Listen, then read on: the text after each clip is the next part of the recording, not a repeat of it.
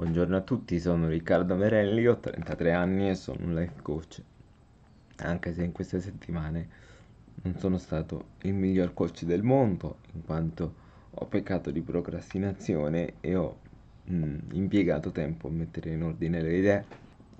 Comunque credo che questa introduzione insolitamente sincera si possa adattare al tema che ho deciso di trattare oggi con voi, ossia la responsabilità del life coach in qualche modo, dal mio punto di vista. Diciamo che arrivati ad un certo momento è difficile non esprimere opinioni. Ho come la sensazione, soprattutto online, che il fatto di fare il life coach ci etichetti in qualche modo a dover rappresentare un certo ideale di perfezione, ma la perfezione non è proprio degli esseri umani. Tutti noi abbiamo delle sfaccettature, dei pregi, dei difetti. Penso di elencare cose oggettive fino a questo momento. E riflettendo su questa cosa, sul perché eh, mi venisse rivolto questo carico, a mio parere esagerato di responsabilità, ho pensato ma io e i miei colleghi non siamo affatto le uniche persone a lavorare a contatto con gli altri. Perché non pensiamo ad esempio ad un insegnante? Tutti noi siamo quello che siamo in parte anche grazie a dei bravi insegnanti. Perché non ho mai sentito dire ad un insegnante sei un insegnante dovresti? Eppure eh, essere un insegnante è un lavoro di grande responsabilità, anche se quando ben fatto può portare a dei grandi risultati.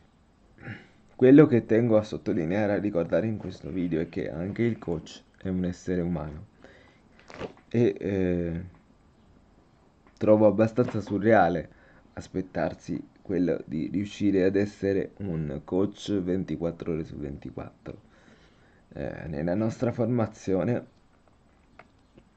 al di là di tutta la parte di burocrazia, partita io, eccetera, eh, ci è stato consigliato più che altro in una giornata di non prendere più di due persone. È ovvio, è soggettivo dire che nessuno verrà a controllare se voi, futuri o presenti coach, accetterete tre clienti in una giornata, ad esempio. Ma si tratta di un... Mm,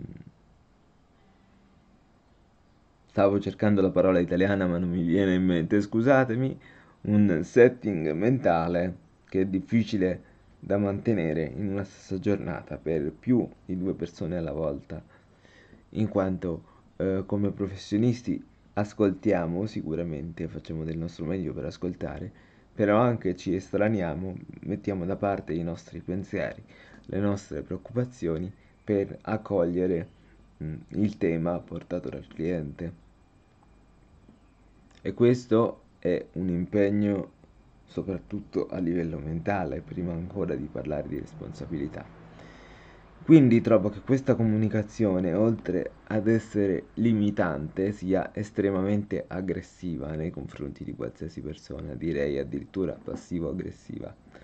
Sarebbe stato diverso, ad esempio, poter dire come mai un coach si rivolge in questa maniera a me e io avrei risposto tranquillamente perché i coach sono persone, non possiamo avere una mente libera 24 ore su 24 e pensare sempre e comunque a quale sia la frase e la parola giusta da dire.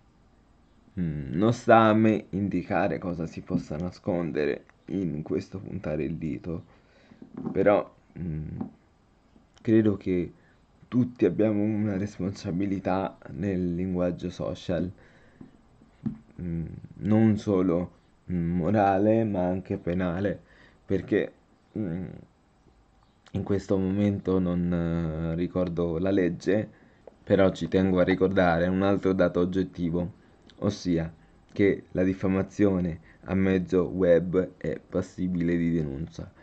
Non sono ancora giunto a questi livelli, per fortuna non sono qui per mm, ventilare di adire le vie legali e se lo dovessi fare non sarebbe sicuramente consigliabile dirlo su YouTube.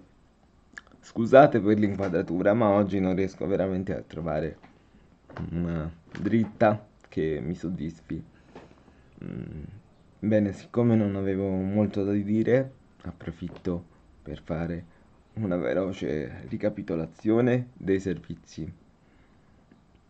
In questo momento ho eh, in carico una persona e eh, per ragioni fiscali diciamo che c'è posto solo per altre due persone che volessero iniziare subito. Vi chiedo un attimo che voi non vedrete e faremo una riepilogazione dei servizi che posso offrire.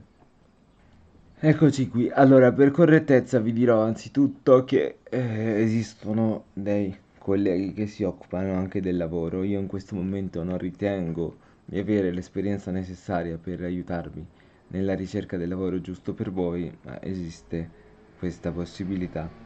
Mi limito quindi ad elencare gli altri servizi per i quali sento di potervi aiutare maggiormente.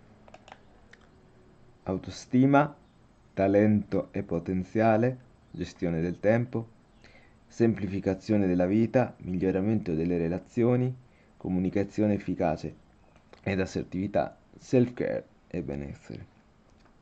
Mi permetto inoltre di segnalare che grazie all'Accademia della Felicità di Milano ho potuto fare un corso autonomo di specializzazione in coaching delle relazioni, per cui se sentite che quello che c'è in questo momento nella vostra relazione vi richiama, fa sentire la necessità di essere cambiato, non darò consigli perché nel coaching non ci sono i consigli, ma cercherò di aiutarvi con i mezzi che ho a mia disposizione, sia come persona, ma soprattutto come professionista, per informazioni e prezzi vi chiedo di contattarmi in privato sui social che trovate in descrizione. Io vi saluto, spero che questo breve video sia stato comunque di vostro gradimento e ci vediamo alla prossima. Ciao! thank you